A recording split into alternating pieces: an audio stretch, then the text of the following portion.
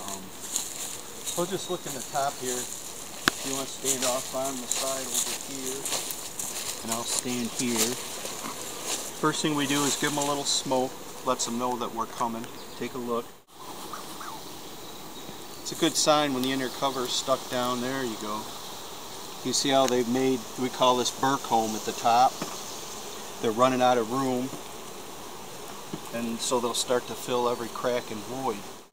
Well, it's coming up to peak population. Their peak will be about 75,000. Mm -hmm. You can see the new nectar, the new white cappings. So essentially what they're doing is they start to cap that frame they deposit the nectar in the open cells, they dry it down and evaporate the nectar at night and when it gets down to the proper moisture content they'll cap. And when they cap that over, the white cappings, they look like snow white. That's um, air that's trapped between, if you look, you can see how the cappings get sealed over slowly, slowly until it's just a little pinhole. They're working in here. You can see the white comb at the top.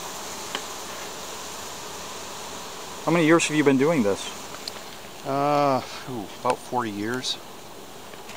Since the mid-70s. And what kind of bees are they? These are Carniolans. They're a strain of a uh, the form of, a of the Italian bee. Three-banded Italians are the most popular bee in, in the country now. There's a Carniolan, which is a Euro bee. It's darker. Does really well in our climate, winters well. They use, you can see some of this propolis material here. Propolis is called uh, bee gum bee glue I should say and uh, they'll coat the inside of the hive, the cracks, any gaps. They'll coat with that propolis and it, it serves two purposes. It sanitizes the hive and uh, seals any gaps or cracks. You can kind of see like the little little propolis and wax there. Here again the combs are getting whitened up. They're starting to fill fill these top supers here again is the pollen, the worker brood. Uh, they're storing nectar, but here you see drone brood. And drone is, you can see it's a bullet-shaped cap versus a normal flat cap down here. Part of the varroa mite life cycle, they like the, uh, the size of the drone comb, and that's where you'll find them.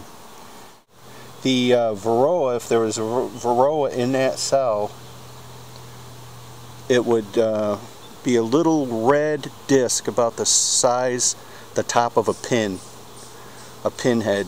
It's, it's quite visible. But as you can see, that's a very clean, there's no mites in that at all. Uh, very healthy. If, if it was varroa infestation, what can happen is these wings can be curled, disjointed. Um, you know, they're just not formed right and that's a heavy mite infestation. And you would find young bees like this with like half their wings gone or out at, at uh, abnormal angles walking around inside the hive or on a comb. That's another bad sign of a varroa infestation. Wow, so they, they, basically when they come out they will start their chores. They will start out in the hive uh, cleaning housekeeping duties. Eventually they will go into feeding brood they, they mature and then eventually they become a forager.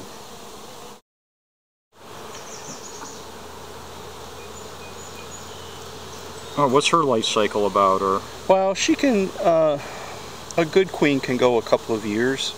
They used to go longer, but you know, with more emphasis on egg production and uh, the way that they breed queens now, you know, you're going to get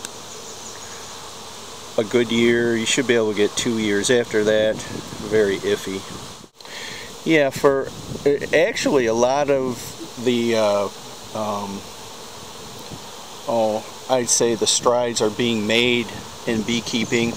Uh, uh, discoveries, new practices.